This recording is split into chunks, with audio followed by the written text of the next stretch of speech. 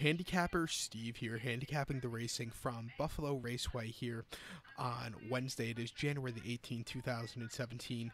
Gonna look at the opener, race number one from Buffalo, but before I get on to that, remember to please follow me on Twitter at Horse Racing Kid 5 for more selections from racetracks across the world. The first race from Buffalo, the feature race on today's program, is the Filly Mare's Open Handicap. Uh, post position number six is assigned here, so just keep that in mind. Field of six Pacers traveling one mile, purse ten thousand dollars. There's double wagering that connects races one and two. Exacta trifecta also, um, and I'm going to give you an exacta wager. I'm going to do a ten dollar exacta four six four six ten dollar exacta. Number four, my Tiala or my Talia or my Talia, whatever the horse's name is, my Talia idea. Um, you know, five to one here. David McNeight, the third, is on this um, seven-year-old mare. Um, you know, this horse has been running decently.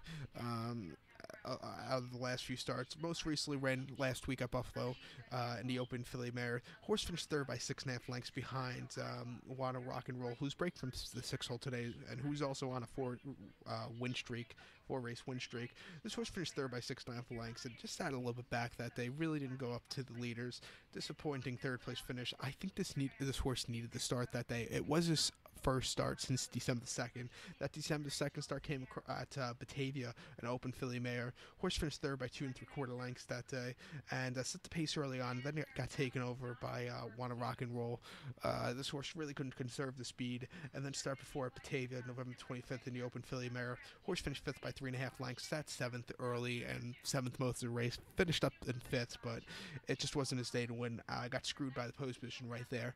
But I think this horse should have a good start here today.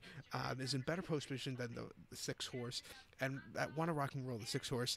If I pick him today as a top pick, he, he's gonna lose. But since I'm not, he's probably going to win. But I, you know, I, I think he, his win streak's going to get over today, and I think the horse to do it is going to be this four horse My Ideal. So I'm going to use this horse here. His last win, if you want to go back to it, was 28th of October, and uh, in, in, the open handicap, horse won by a head at three and a half to one, and from the six hole, sat back early but closed up incredible that day.